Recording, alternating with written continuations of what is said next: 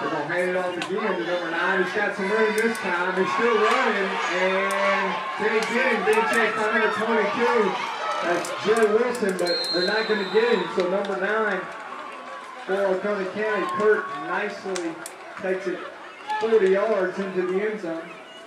Oconee County gets on the board first.